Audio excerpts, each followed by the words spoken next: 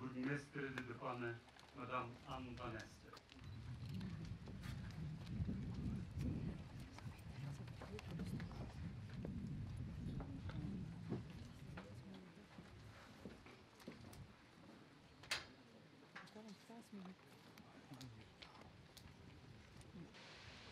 De heer vertegenwoordiger van zijn majesteit de koning. De heer Van de Put, minister van Defensie en voogdijminister Waar Heritage Institute.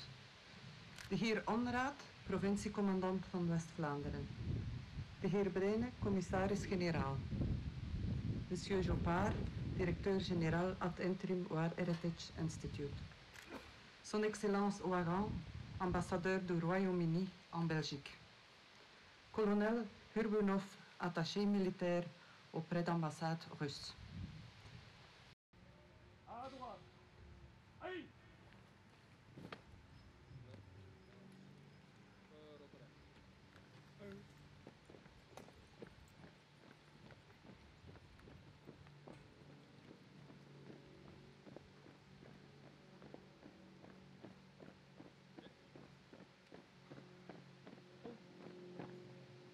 Meneer de vertegenwoordiger van de koning, dames en heren in uw titelschade en hoedanigheden, geachte aanwezigen.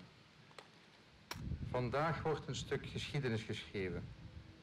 Voor het eerst sinds lang worden vier Belgische soldaten die sneuvelden in de Eerste Wereldoorlog samen herbegraven. Stoffelijke resten van militairen uit de oorlog 1418 worden met de regelmaat van de klok opgegraven hier in de Westhoek. En tot voor kort waren dat steeds soldaten uit een van de Commonwealth-landen of uit Duitsland.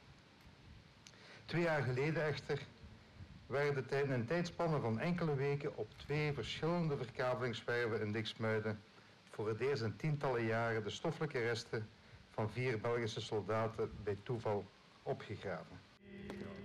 And with